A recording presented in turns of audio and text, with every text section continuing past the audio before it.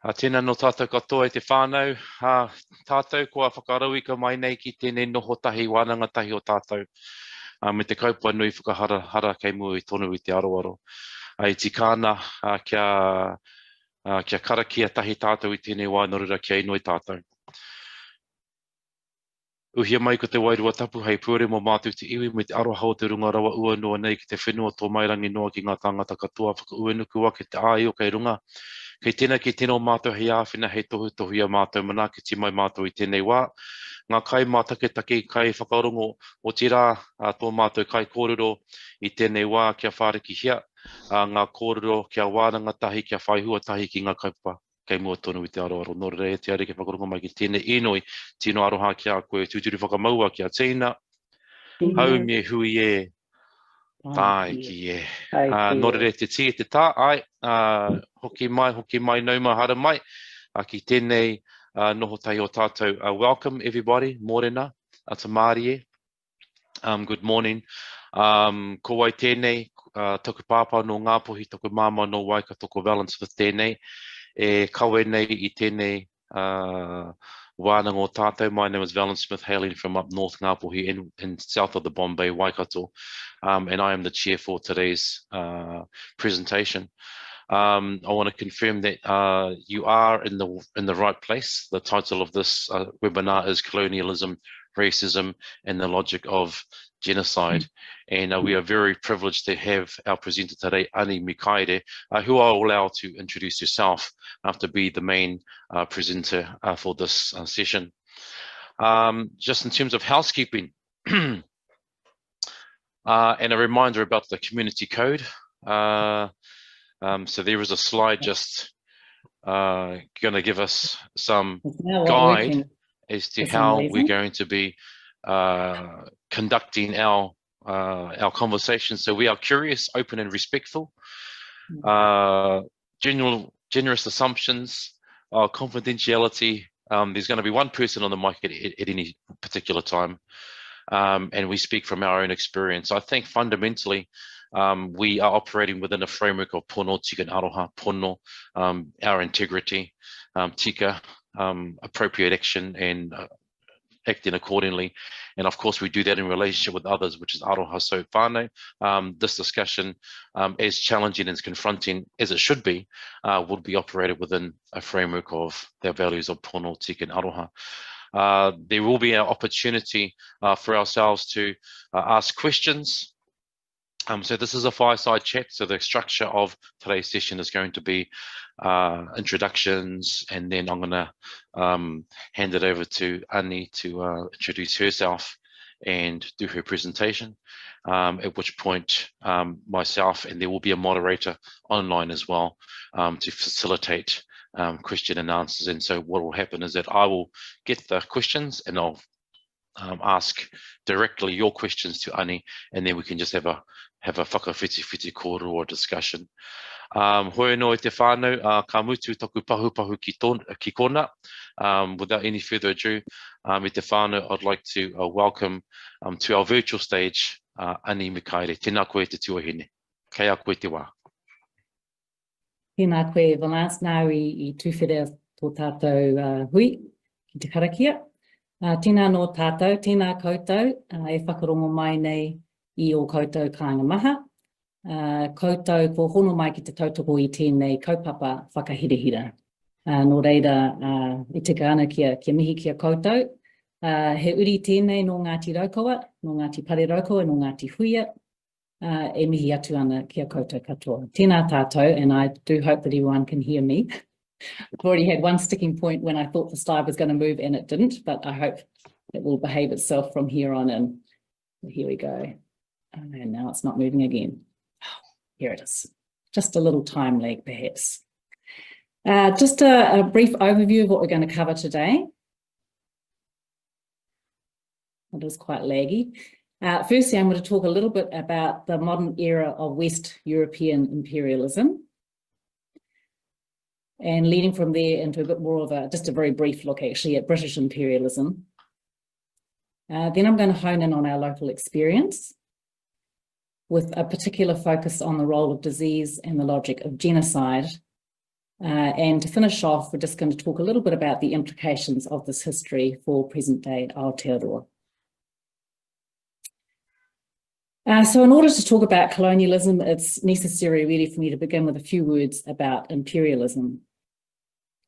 The modern era of West European imperial, imperialism is typically flagged, I suppose, as having begun in the year 1492, which is the year when Christopher Columbus claimed to have discovered America. Uh, now, of course, his, his use of the word discovery is kind of interesting because at that time, around 100 million people, or approximately a fifth of the human race at that time is thought to be, were already living there. By 1914, uh, Europe held approximately 85% of the Earth's surface as a result of what Jeremy Paxman has called the imperial competition to enhance yourself by debasing others. The way that the nations of Western Europe approached imperialism was heavily influenced by their own experience of having been colonized by the Romans around the turn of the first century. And indeed, the British would eventually come to pride themselves as the heirs apparent to the Romans. In 1492, Rome was uh, regarded as the seat of West European power, and, and popes weren't just religious figures, they wielded enormous political power. During the mid to the late, late 15th century, Rome issued a number of edicts known as papal bulls, and these papal bulls set out the rules of the imperial competition. Uh, these bulls culminated in a papal bull known as the Inter Caetera, issued by Pope Alexander VI in 1493.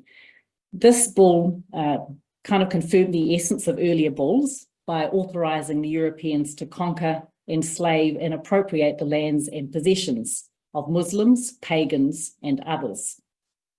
But this bull also added a new kind of gloss to the other ones that had formerly been issued. This one added the qualification that no Christian nation could establish dominion over lands that had previously been dominated by another Christian nation. In other words, this bull established the principle, as between European nations, of first come, first served. This, of course, is the doctrine of discovery. Uh, a, a, final document that I just want to mention briefly is the, the Requerimiento 1510. Um, it's worth a mention. It was, it was written by the Council of Castile, which was a ruling body second only to the Spanish monarch, and it was issued in 1510. This was designed to be read aloud as a kind of ultimatum to the conquered Indians in the Americas. It asserted the religious authority of Spain uh, over, oh, sorry, it, it, it it established the religious authority of the Roman Catholic Pope over all the world and the political authority of Spain over the Americas. It demanded that the conquered peoples accept Spanish rule and Christian preaching, and that if they didn't, they were at risk of subjugation, enslavement, and death. Now, interestingly enough, often the Requerimiento was read in Latin to Indians with no interpreters present. And on some occasions, it was even delivered from aboard the ship to an empty beach, revealing its prime purpose really as self-justification for the Spanish invaders. Um, so I just, before going any further, I just want to kind of sum up what I see as being the main characteristics of West European imperialism. Uh, firstly, ethnocentrism it's quite interesting when you look back uh, through the history that as early as the 5th century BC, the nations of Western Europe had already begun developing a crude ethnic dualism, dividing the world into two opposing halves, Europe and Asia, and distinguishing Western civilization from Eastern barbarianism. Second characteristic is racism. The seeds for this, of course, were sown in that original distinction between Eastern barbarianism and, and Western civilization, but it was subsequently built upon to justify slavery and then to justify the treatment of Indigenous peoples in the New World. Monotheistic intolerance. Um, this really uh, kind of had its rise uh, during 4th century Rome because uh, 4th century Rome was when the polytheism of paganism was largely replaced with the proselytizing of Christianity. Uh, and Christianity was extremely intolerant. That intolerance manifested, manifested itself in bitter internal fighting uh, amongst the Christians themselves, but also it manifested as violence against others. For example, the Crusades from the first to the kind of 12th, 13th centuries, and the uh, compulsory conversion or expulsion of Jews from Spain in 1492. Another characteristic was what I would refer to as kind of pseudoscience. Um, there was a plethora of half-baked uh, scientific theories that were around during these times. Uh, one, of course, was Darwin's theory of the survival of the fittest, which was overlaid with beliefs about racial superiority. So, for example, Darwin said this, the Western nations of Europe now so immeasurably surpass their former savage progenitors that they stand at the summit of civilization. The civilized races of man will almost certainly exterminate and replace the savage races throughout the world. So that was the theory of survival of the fittest. There was the good old theory of phrenology, the idea that a person's mental faculties and character are determined by the shape of their skull, and the theory of eugenics, uh, the theory that humanity could be perfected in time through the elimination of inferior races. So there are a whole lot of kind of pseudo scientific theories that were very popular during this time. Globalization or capitalism, the idea um, that the world was there to be appropriated by Western Europe. Um, this was really the kind of the movement away from the idea that you acquired goods simply to consume them but the acquisition of goods, the acquisition of wealth became a kind of end in itself. Uh, and this was seen as a mark of civilized man, and it was almost always man, the idea that you wanted to accumulate wealth just for wealth's sake, whereas uh, savage backward people just accumulate, accumulated things to subsist. That was a mark of, of um, being uncivilized.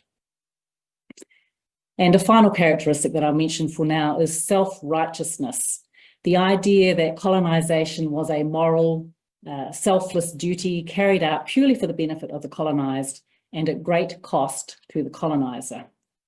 Uh, and in this, really, it's hard to go past uh, this poem by Rudyard Kipling, Kipling, penned in 1899. Take up the white man's burden, go forth the beast, the best ye breed, go bind your sons to exile to serve your captives' need, to wait in heavy harness on fluttered folk and wild, your new court sullen peoples, half devil and half child. Little bit of a shock for those of us, you know, who grew up enjoying Jungle Book, and then you find that people through Jungle Book penned something like this. Um, the view, of course, was that Indigenous peoples everywhere would be raised up by the virtue of being colonized, because that process would mean they became more civilized. They would become cleverer, they would become Christian, more morally upright, um, smarter in terms of being motivated by profit, not subsistence, and so forth.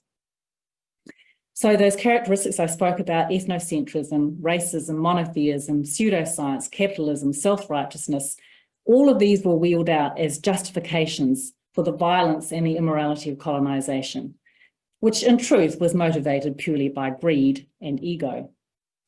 They combined to form a self-serving hierarchy of humanity, which enabled the colonizers, the empire builders of Western Europe, to rationalize what they were doing on the crude but self-gratifying ground that they were simply superior, culturally, racially, theologically, intellectually, economically, morally, and so on.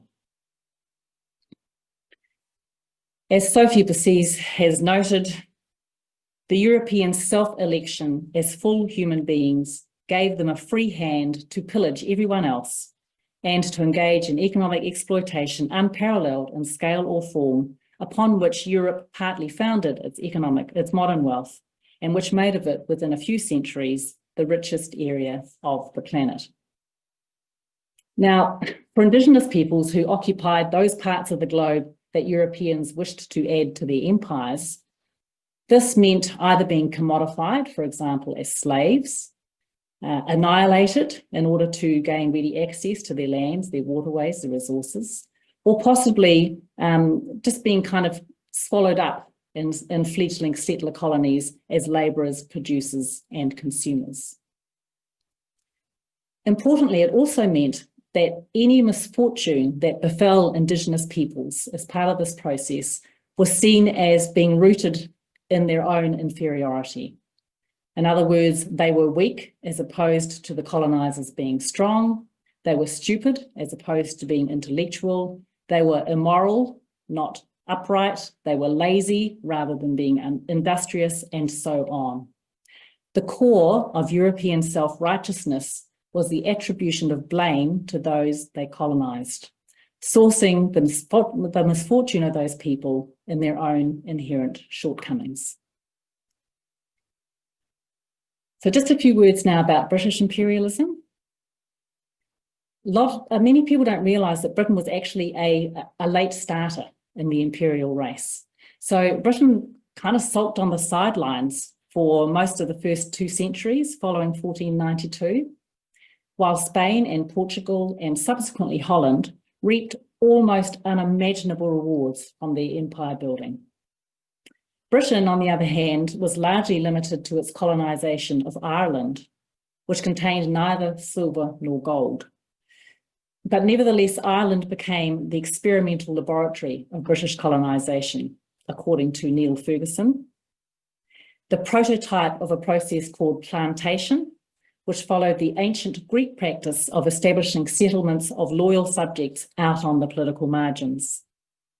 Described by Niall Ferguson as what we would today refer to as ethnic cleansing, plantation showed just how effective colonial takeover could be, or how effectively colonial takeover could be consolidated by migration and settlement.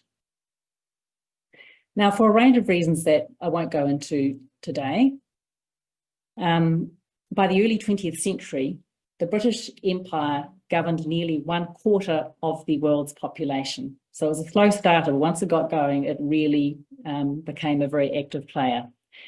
Um, by this time, it claimed authority over nearly a quarter uh, of the Earth's land surface and dominated most of its oceans. And you can see here this concept of plantation, of settlement. Between 1600 and 1950, over 20 million people left the British Isles to pursue new lives throughout the empire, and most of them stayed. According to Niall Ferguson, the indispensable foundation of the British Empire was mass migration, the largest uh, and the biggest in human history. This Britannic exodus, he says, changed the world, turning whole continents white. So when Britain eventually turned its attention to Aotearoa, it was riding the crest of a wave. Its colonial conceit knew no bounds. And I have here quite a nice quote from Cecil Rhodes, his Confession of Faith, 1877, which really summarises the kind of the place that Britain was in when they colonised us. I contend that we are the finest race in the world, and that the more of the world we inhabit, the better it is for the human race. We know the size of the world. We know the total extent. Africa is still lying ready for us. It is our duty to take it. It is our duty to seize every opportunity of acquiring more territory. And we should keep this one idea steadily before us, before our eyes, that the more territory, more territory simply means more of the Anglo-Saxon race, more of the best, the most human, the most honourable race the world possesses.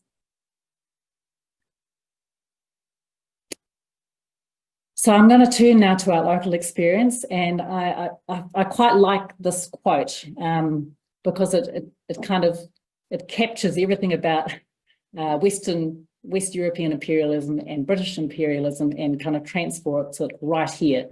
In fact, just down the road from where from where my people are. Um, this is a quote from the New Zealand Gazette and Wellington Spectator, uh, which was one of the very early settler newspapers. Uh, Wellington was one of the first New Zealand company settlements, you'll probably know. Uh, and this statement was made in July 1840, which is really only a matter of months after the first ships arrived here um, in Wellington with those first New Zealand company settlers. So this is what uh, the paper wrote. We are adventurers. We have adventured property and life, our own prosperity and that of our children. In an undertaking which has rightly been called heroic. If this enterprise be successful, we shall have realized for ourselves independence and probably wealth, but at the same time, we shall have substituted in this remote region civilization for barbarism, Christianity for heathenism, the empire of law for prescriptive lawlessness, the arts that humanize and the sciences that elevate mankind for a stagnating and in-progressive ignorance. We shall have laid the foundation of a community speaking the language and enjoying the institutions of England. We shall have given yet further scope to the all-embracing commerce of our mother country and have increased by peaceful and beneficent means the territories of the English crown. So you can see here the various characteristics of imperialism on display here, the ethnocentrism, the racism, the monotheistic intolerance, the capitalist greed, the self-righteousness and the superiority, the self-congratulation and the insistence that what they were engaged in was noble work. Now for our people, as for every other Indigenous people whose homelands were targeted for colonial invasion, the process wasn't beneficial at all, but rather it was genocidal.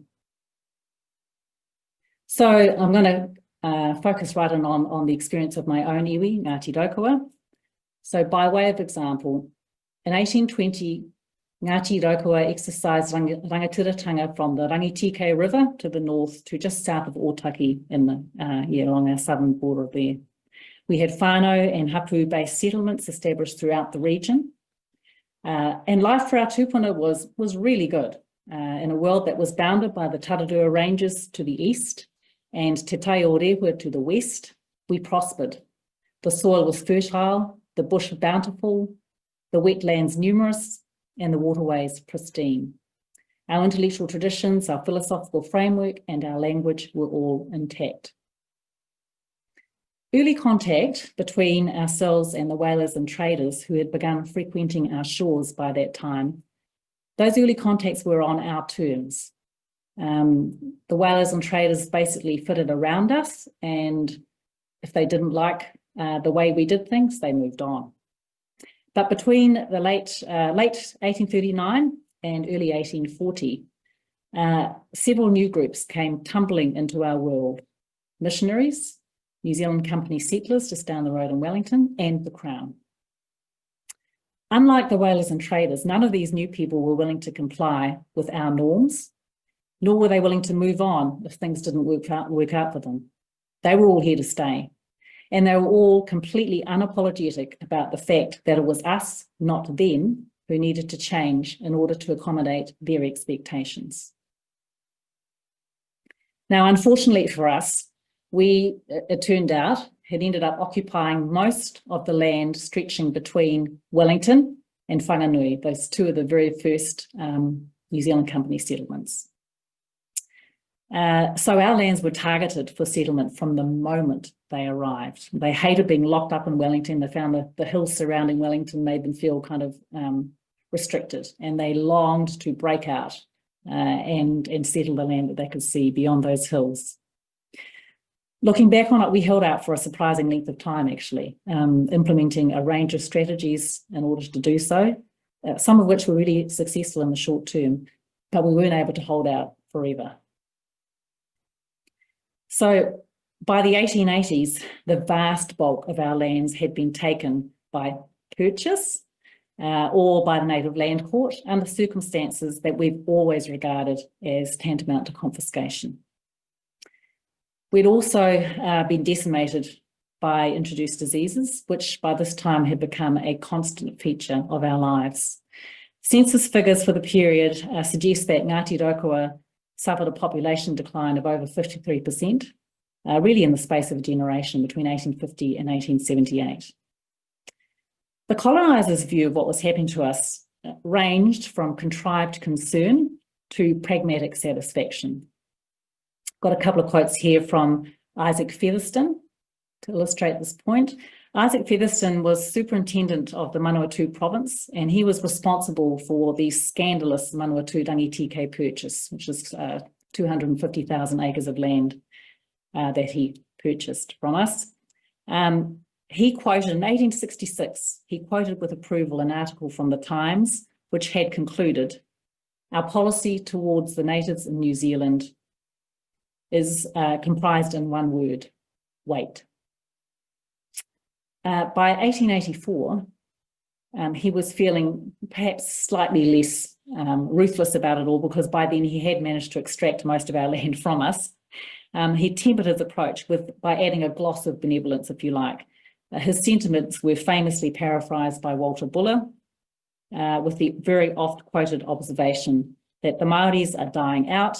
Our plain duty as good compassionate colonists is to smooth their dying pillow, then history will have nothing to reproach us with. So this really leads me to the next uh, section of the discussion, which is the role of disease and the logic of genocide. In his landmark work, Plagues and Peoples, William McNeill explores, explores the profound impact of infectious disease on world history. He explains, for instance, how Europeans had encountered an endless succession of epidemics over several thousand years, concluding that by the 16th century, Europe had much to give and little to receive in the way of new human infections. The lopsided impact of infectious disease upon American Indian populations, uh, he concluded, offered a key to understanding the otherwise unfathomable ease of the Spanish conquest of the Americas. To put it another way, disease turned out to be a vital weapon in the colonizers' toolkit. The Europeans, with their hard earned immunity, it turned out, were highly effective agents of biological warfare. From the time Christopher Columbus arrived in the Caribbean in, 15, in 1492, sorry, introduced disease wreaked havoc on the indigenous peoples throughout the New World. At least 90% of the indigenous population of the Americas, as many as 90 million people, succumbed to the successive waves of pestilence that swept through the continent. Ronald Wright calls it the greatest mortality in history.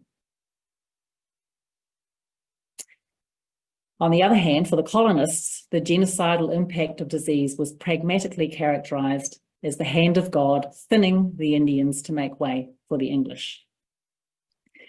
Now, here in Aotearoa, over 300 years later, it didn't take Māori long to make the connection between the newcomers and the devastating new ep epidemics that began tearing through our communities from the point of first contact.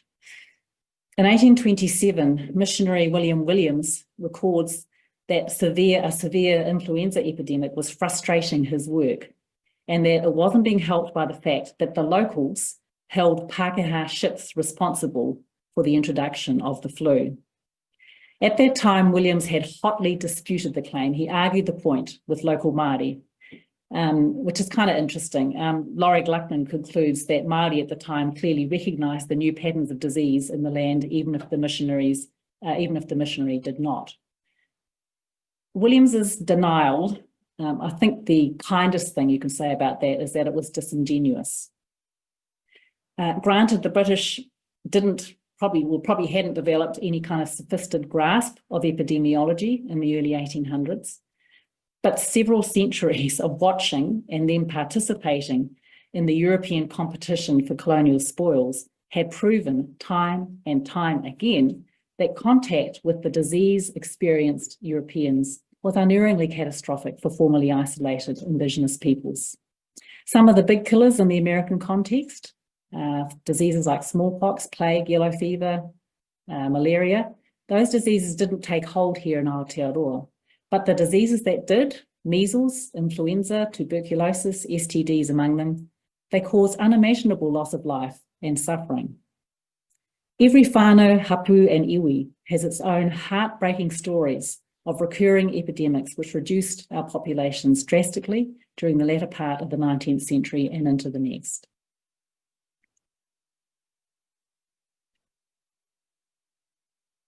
So we know that by 1896, when the Māori population had reached a low point of 42,000, our extinction was being confidently predicted by the colonists. Some feigned regret, others not much so much, others not so much, but all regarded uh, the situation as simply inevitable. A classic case of survival of the fittest. As Charles Darwin himself acknowledged uh, or observed in 1835, Wherever the European has trod, death seems to pursue the Aboriginal. The varieties of man seem to act upon each other in the same way as different species of animals, the stronger always extirpating the weaker. Alfred Newman, scientist, doctor, ethnographer, politician, in 1881 put it a bit more bluntly. The disappearance of the race is scarcely a subject for much regret. They are dying out in a quick, easy way and are being supplanted by a superior race. There's no doubt that Pākehā views on the matter were largely motivated by self-interest. The belief that Māori wouldn't need our land for much longer served to justify their insatiable greed to secure it for themselves. As the New Zealand Times noted in 1905, the imminent extinction of Māori is something uh, that we deplore and at the same time are not quite sorry for. Now, in Aotearoa, as in all settler state colonies, the ultimate aim of the coloniser has been always to supplant us in our own land. The colonists understood only too well that the success of colonisation required our disappearance, as explained by Andrea Smith in her analysis of what she calls the logic of genocide. She says this, the logic of genocide holds that Indigenous peoples must disappear in fact, they must always be disappearing in order to allow non-Indigenous peoples rightful claim over this land. Through this logic of genocide, non-native peoples then become the rightful inheritors of all that was Indigenous, land, resources, Indigenous spirituality or culture. Now, talk of genocide in this country typically provokes rabid overreaction from those invested in the success of settler colonialism. And this is nothing new. As Cherokee scholar Ward Churchill points out, settler colonies have always had a vested interest in controlling the narrative about genocide. Raphael Lemkin, and he's the person who first created the term genocide and who led the work on what was to eventually become the United Nations Genocide Convention in 1948. He defined genocide broadly. So he said genocide is intended to signify a coordinated plan of different actions aiming at the destruction of the essential foundations of the life of national groups, with the aim of annihilating the groups themselves. The objectives of such a plan would be disintegration of the political and social institutions, of culture, language, national feelings, religion, and the economic existence of national groups, and the destruction of personal security, liberty, health, dignity, and even the lives of the individuals belonging to such groups. Lemkin's definition of genocide included cultural genocide, encompassing all policies aimed at destroying the characteristics by which a target group is defined or defines itself, thereby forcing its members to become something else. It's also clear that Lemkin regarded cultural genocide as equally serious as the other categories of genocide that he specified, these being physical and biological. He observed, for instance, that a culture's destruction is not a trifling matter. The loss and human suffering for those whose culture has been healthy and is suddenly attacked and disintegrated are incalculable. But here's where it gets interesting because, as I told you earlier, Lemkin drafted uh, what was to become the Genocide Convention. That convention, the draft, then went to a UN committee to review. And it turns out that the American delegate to the UN committee, um, he's described as having gutted the category concerning cultural genocide. So the definition of genocide kind of had the heart ripped out of it. The reason that the American delegate did this is simply, it's pretty simple, it's because America's conduct with respect to the indigenous peoples that it had colonized would otherwise have resulted in it falling foul of the convention. According to Lemkin's original definition, there is no doubt whatsoever that America is guilty of the crime of genocide. There's a good deal of self-interest in the way that settler colonial states, such as America, Canada, Australia, New Zealand, have insisted on applying a narrow definition of genocide, much, much narrower than the architect of the term ever intended it to be. It's but a small step from there to insisting that there has only ever been one true instance of genocide, that experienced by the Jewish people at the hands of Hitler. And this is a stance that conveniently lets every other perpetrator off the hook. We shouldn't be surprised by the vehemence of the backlash against anyone who has dared to suggest, for instance, that Māori have experienced our own Holocaust at the hands of the colonial state. And many of you will remember that this is exactly what happened in the year 2000 when Tariana Turia, who was, after all, merely quoting uh, a Waitangi Tribunal report, uh, she was banned by then Prime Minister Helen Clark from even using the word. Now, the fact that we didn't fulfill the confident predictions of Isaac Featherston and his contemporaries, a result of our own resilience, not, not as a result of their benevolence, but the fact that we didn't fulfill these predictions, this is now produced as evidence that genocide never happened here. But as Raphael Lemkin understood, the logic of genocide wears many faces. Our gene pool may have survived, uh, but that didn't spare us from the impact of cultural genocide, otherwise known as assimilation. The attempt to remake us in the image of our colonizers by removing our language, our beliefs, and our law, replacing these things with English language and law and with Christianity. Now, this strategy was wildly successful within my own iwi of Ngāti Raukawa. By the time I was born in the, during the 1960s, uh, Ngāti Raukawa were fast approaching what some have referred to as cultural threshold, a tipping point, if you like, beyond which recovery would be impossible. At that time, nobody within our iwi under the age of 30 could speak Te Reo Māori, and the, the speakers that we did have were dying off quite rapidly. Our marae had fallen into disrepair. They were used for tangihanga, but almost nothing else. We'd been relegated to an underclass within colonial society. We were undereducated, over-incarcerated, unemployed, and chronically unwell. To te tino rangatiratanga affirmed in Te Tiriti o Waitangi was but a distant dream. So faced with the imminent threat of cultural annihilation, we were propelled into a death-defying fight back. Um, a recovery strategy known as Whakatupuranga Ruamano was designed and implemented by the three iwi of Te Atiawa, Ngāti Raukawa and Ngāti Toa Rangatira, otherwise known as the ART Confederation. This strategy focused on language recovery, restoration of our marae, educating the people, and striving for tino rangatiratanga. Now, while we have managed to edge back from the brink over the, fast, over the last five decades, I don't think any of us would be foolish enough to imagine that our survival as Māori is yet secure. As Andrea Smith has noted, the logic of genocide demands that we are always disappearing this is an expectation that the current government appears to be, be embracing with a degree of enthusiasm that would make Alfred Newman and his cronies proud.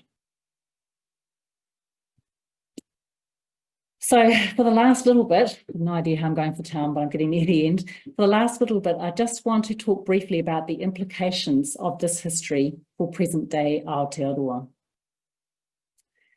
Um, because I think it's oft, often people can hear all this stuff and it's it's it's heavy and it's intense and it's unpleasant, but it belongs safely in the past. But of course, none of it belongs in the past.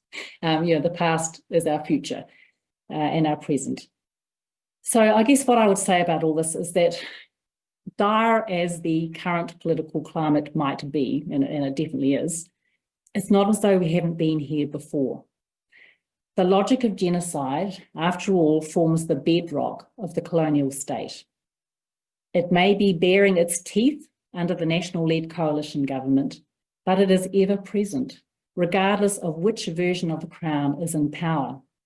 We should rightly be appalled at the determination of the current ragtag bunch uh, to return us to some kind of 1960s time capsule, and, and we should be appalled about that. But we shouldn't fall into the trap of imagining that the logic of genocide was absent under the other lot. To be sure, they implemented some measures that moved us in the right direction.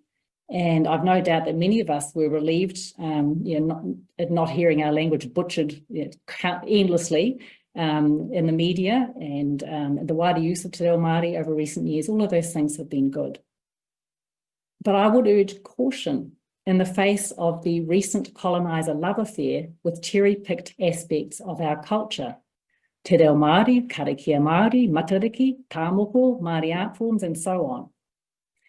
Because I think the point is this, in the absence of any serious conversation about the return of Māori land and the establishment of a truly Te Tiriti-based constitution, this in fact is the logic of genocide in new clothes. The Labour government in its time poured outrageous sums of money into providing Pākehā with access to Te Reo Māori while simultaneously continuing, continuing, continuing to grossly underfund initiatives that have been established on the backs of our people to restore Te Reo to our own. Kohanga reo, kura kaupapa Māori, kura iwi, and wānanga. So having already removed most of our land, having already usurped our political authority, Pākehā helping themselves to our language, to our mātauranga, to our tikanga, this can legitimately be regarded as the final act of cultural appropriation, utilising their stranglehold on their illicitly acquired resources and political power to limit our access to taonga that they took from us, they're now ideally placed to claim these taonga for themselves. It may well feel that the spectre of being supplanted in our own land looms particularly large under the present government, but my point is, and I'll say it again, it's an ever-present threat, no matter which political brand of Kāwanatanga happens to be in power. And power, of course, is what this all boils down to. And so I, I want to keep, I'm going to actually just read this out because I think it's kind of the, the guts of what I'm saying here, really. So long as the Crown asserts a monopoly on power, grossly overstepping the limits of kāwanatanga and reducing te tino rangatiratanga to a shadow of what it should be, the logic of genocide will remain with us. Sometimes it might be disguised in the language of treaty principles and feel-good notions of an emerging bicultural nationhood, and other times it may be unmasked and unapologetic about its goal of erasing us, but it will always be there. The only way to eliminate the logic of genocide is to ensure that those who believe that they stand to benefit from our disappearance no longer have the power to bring it about. This brings us neatly to the theme of building a future based on Te Tiriti o Waitangi. I'm sure it won't surprise you to hear me say that all paths lead to constitutional transformation. Not constitutional tinkering, whereby the Crown retains ultimate authority, determining how much it might be prepared to share around and under what conditions, but change that results in the redistribution of power and resources so that Māori once again have the ability to take full responsibility for ourselves. Now, some of the heavy lifting on this has already been done for us by the Waitangi Tribunal and by Matike Mai Aotearoa, the independent working group on constitutional transformation that was led by Moana Jackson and Margaret Mutu. And I see that a session on Matike Mai planning for constitutional transformation is scheduled for later in this conference. What an excellent opportunity that will be to see how the thinking um, on how best to realise the vision articulated in the working group's 2016 report has continued to evolve since that report was first released. This is something that anyone committed to building a post-colonial Aotearoa should want to be a part of. By post-colonial Aotearoa, I mean an Aotearoa that isn't founded on the acceptance that one party to Te Tiriti reserves to itself the right to obliterate the other if and when it feels like it. Seems to me that events like this uh, provide great opportunities to imagine the future that we want and to build strategies for its achievement. Nō reira, uh, ko mutu aku kōrero mō tēnei wā, uh, tēnā no koutou uh, e whakarongo mai ana. Tēnā tātou katoa. Tunu ngā mihi ki a koe e ani uh, i, te, i te hohonu pai o kōru. Um, whānui, um, hoi no e hāngai pūana uh, kia, kia Ngāti Raukawa uh, me tō ake iwi hapu no re mihi ana. Um, big round of applause, virtual applause for, for Annie, um, and just acknowledging her time and expertise. Um, just want to let everyone know if you want to ask a question, Fana, just post them to the question and answer box. I'll go through those um, right now. Um, we do have 10 minutes for Q&A, so I'll try and keep this as um, succinct as possible. So I'm going to actually start off with um, Ellen uh, Karira. Um, Ani, um, Ellen's part is really about um, cultural genocide, I suppose, and about um, um, if you want to disenfranchise and indigenous people, um, disconnect them from things that are important to them. And one way of doing that is through missionaries. And someone mentioned earlier in the chat box the three G's guns, gangs, or, no, guns, germs, and God. And I suppose this is the God part. So, um, how much influence did missionaries have on genocide in Aotearoa? And maybe talk about the Ngāti Raukawa context and what mm -hmm. does mm-hmm. Ani yourself think about Christianity being um, used as a genocide tool? Oh, I think there's no doubt that, that Christianity played its part. Um, it, yeah, it's quite interesting because here in Otaki, we, we were kind of known as, you know, a very Christian bunch. We had um, Octavius Hadfield came here, um, and it sounds like he was, as missionaries go, um, say, quite quite a principled missionary. But uh, there's still also evidence that he was um, directly involved in the decision, the Crown decision, uh, to kidnap Te Rauparaha um, and to detain him illegally for 18 months. So when I'm looking back through the records, it's pretty clear that, that Governor Grey was consulting Octavius Hadfield almost on a daily basis in the lead up to that event.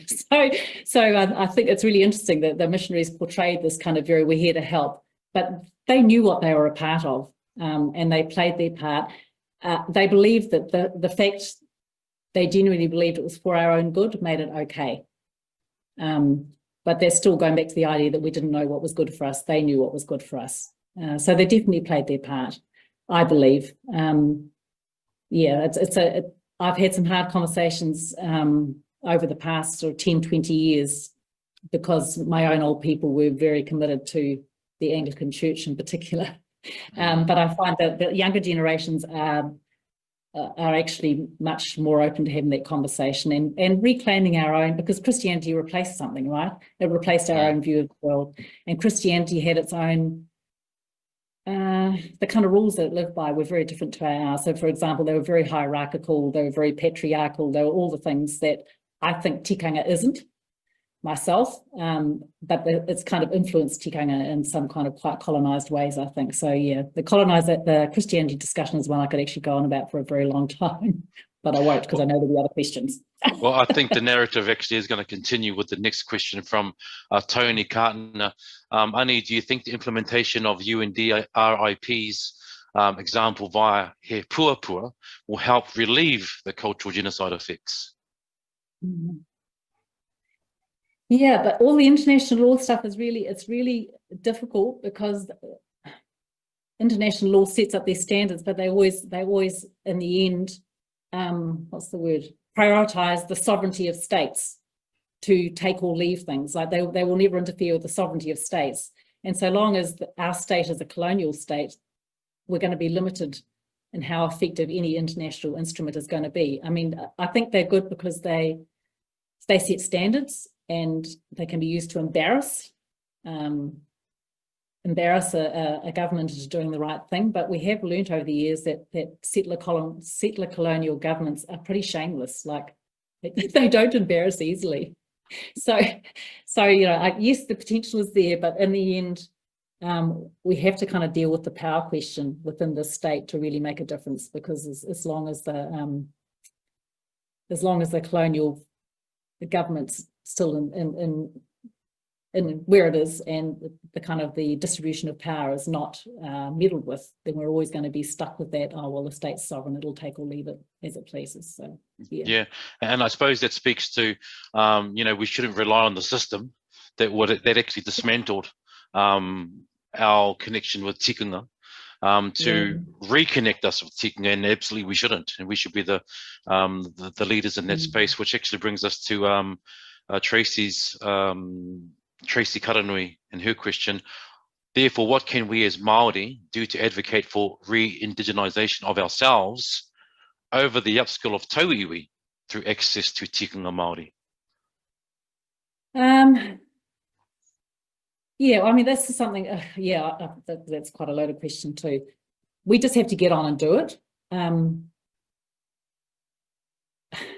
when I had that kind of jab at the Labour government throwing millions of dollars into allowing Pākehā to learn Te Reo Māori, there's nothing wrong with that, but at the same time it was doing that, it was chronically underfunding all these other initiatives that, that we've set up to, to restore Te Reo Māori to our own. So um, I, we have to we have to kind of um, highlight those uh, imbalances, uh, which we did actually, but they didn't listen. And we then have to just get on and do it, resourced, not resourced, um, because something I kind of we, we talk about sometimes is that no one's coming to save us. The crown is not coming to save us. In the end, we have to save ourselves. So we do what it takes, um, and we continue to kind of take it to the crown and point out its appalling behaviour at every po possible opportunity. Just occasionally, you shame them into doing the right thing. Yeah. you know, sorry, it's, this is not really a feel good, is it? It's not a feel good answer, but you know, that's, that's my experience is occasionally you shame them into doing the right thing. Um, the one thing I would say also is that um, Pākehā Learning Te Reo, where those Pākehā have understood their role as Pākehā Learning Te Reo that, and, and have become solid allies, that's great. That's awesome. But um, it needs to be learning Te Reo while actually being committed to constitutional transformation. If you're just learning Te Reo as, as a Pākehā because you just want to add it to your kete with something else, another decoration that you want to add, then you're not doing us any good.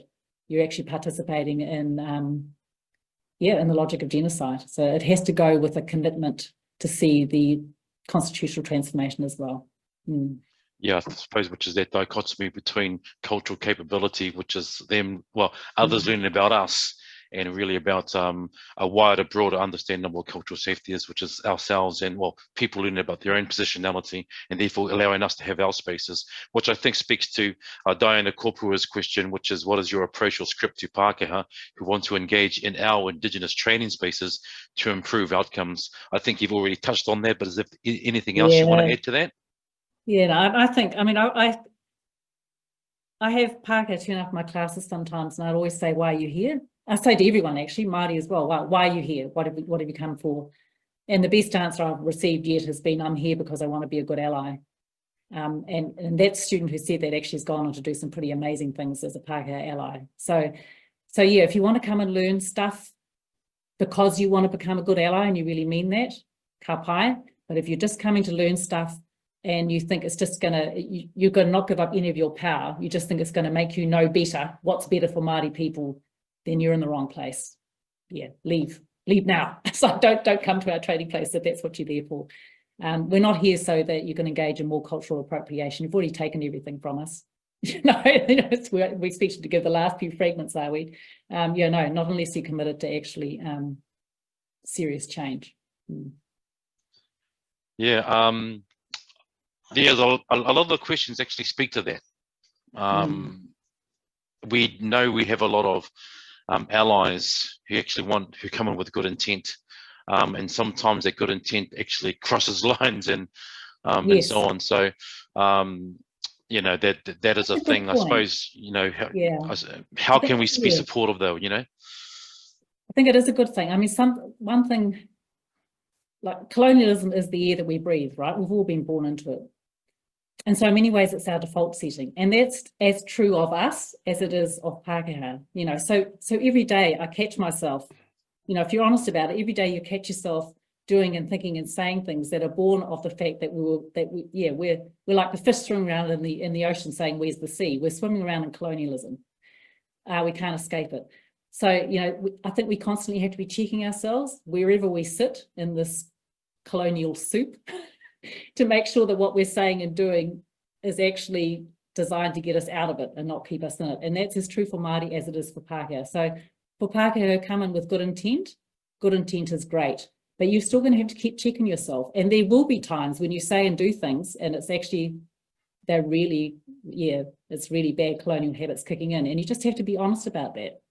Mm. Um, as I say, I mean, I, I, I pick myself up every other day. I go to write or do something. I think, oh my God, where does that come from? Um, because I was born and raised and educated you know, went to law school, you can't get more colonized than that. You know, so those things they leave they leave marks on you, and, and that's that's true for all of us. Hmm.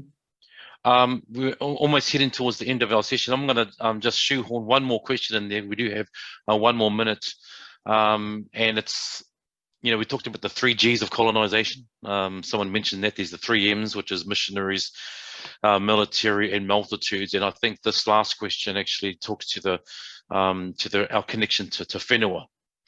Um, and this comes from Michael Bain um, regarding Margaret Mutu has mentioned that Aotearoa is Maori land, always has been, always will be. How important, therefore, is that concept of recognizing this land as being Maori to constitutional transformation? Oh, it's crucial. I mean,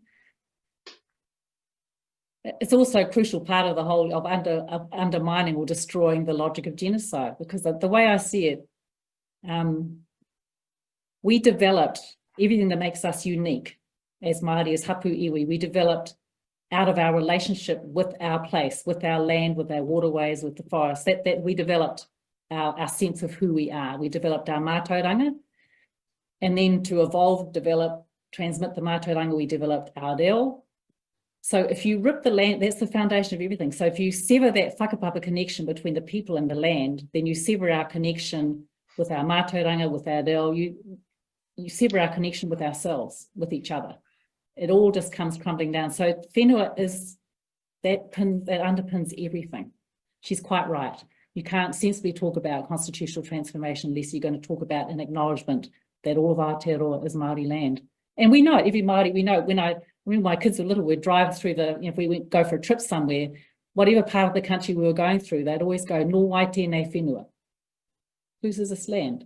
Mm. You know, and they weren't talking about the little quarter acre sections and the people in houses. They were talking about who had the relationship, the underpinning relationship with that land. It's it's everything. Mm. So yeah, good question.